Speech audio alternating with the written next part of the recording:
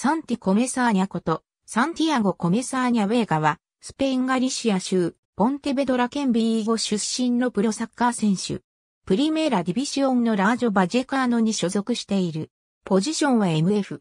2015年7月に地元ガリシア州に本拠地を置くセグンダディビシオン B 所属のコルジョ FC と契約。8月22日のアトレティコアストルガ FC 戦でプロデビュー。12月6日の SD コンポステラ戦でハットトリックを達成するなど、プロ1年目は37試合6得点を記録した。2016年7月16日、当時セグンダディビシオンに所属していたラージョ・バジェカーノに移籍。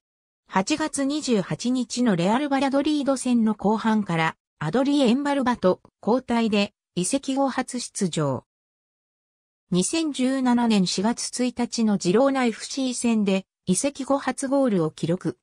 翌2017から18シーズンは33試合に出場するなど主力選手に成長し、チームは2部リーグ優勝を達成した。初のラリーガとなった2018から19シーズン開幕戦となったアトレティコ・マドリード戦で先発で出場した。ありがとうございます。